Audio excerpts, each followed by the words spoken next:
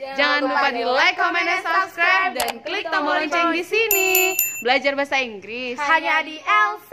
LC makes everyone speak. Hi LCers, good morning.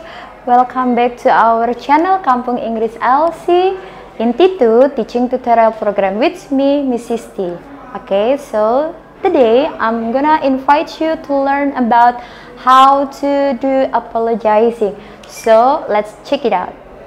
Oke okay guys, di sini saya punya contoh tentang polite way to apologize. Biasanya kita hanya mengucapkan I'm sorry.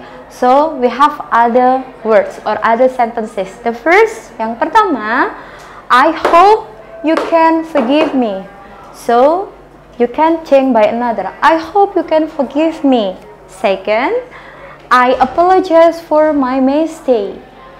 Third, please don't be mad at me. Artinya, jangan marah padaku dong.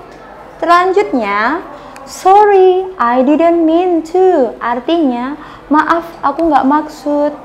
Dan yang terakhir ada, I'm terrible sorry. I'm terrible sorry, please. Sorry, aku menyesal. Nah, untuk selanjutnya, kita ada yang namanya respon. Biasanya respon teman-teman hanya mengucapkan, it's okay, So, change by other. So, let's check it out. Yang pertama, it's no problem at all. Bukan masalah. Yang kedua, don't worry about it. Jangan khawatir. Selanjutnya, don't take it too hard. Jangan dimasukin hati ya. And then the next one, forget it. Or you can say, never mind. And the last one, not a big deal.